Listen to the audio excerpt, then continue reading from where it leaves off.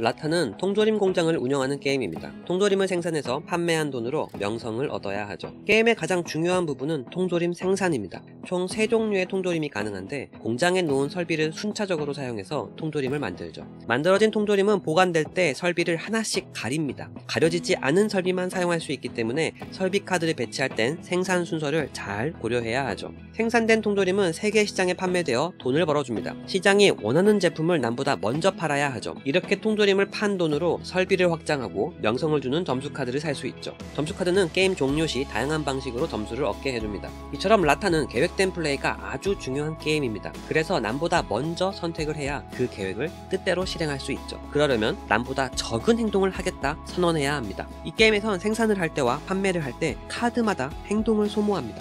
그래서 남보다 먼저 적은 행동을 할지 남보다 늦게 많은 행동을 할지 선택해야 하죠. 이는 마치 뷔페에서 작은 접시에 나한테 딱 맞는 음식을 조금만 담느냐 아니면 큰 접시에 남들이 남긴 음식을 많이 담느냐의 선택입니다. 돈과 행동 관리가 빡빡하지만 계획한 대로 착착 돌아갔을 때 즐거움이 있는 맛있는 전략 게임 라타. 전작인 카페 엑스프레소처럼 포르투갈의 문화를 경험하게 해주는 멋진 게임이라 생각합니다.